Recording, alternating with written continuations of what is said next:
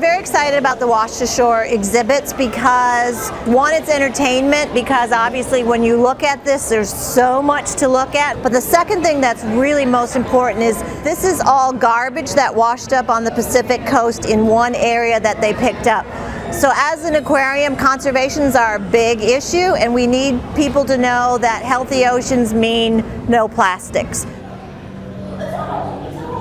The majority of plastics that are being produced now are used once and thrown away. About 60% of everything that we buy is only used once and thrown away, which shows you the kind of rethinking we need to do. So I wanted it to be beautiful from a distance and then horrifying and a real wake up call when you get up close.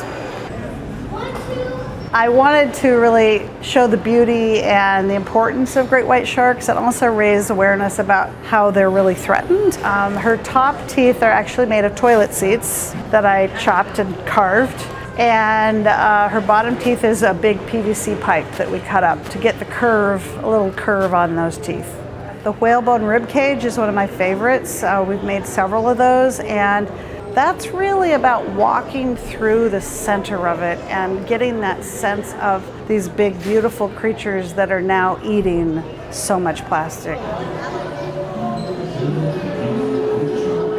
Plastic pollution is something we can do something about. It's not out of our reach. We can do something about it. We can look at our consumer habits. We can change our way of buying things. We can increase our use of recycling we can change our products. It's not impossible.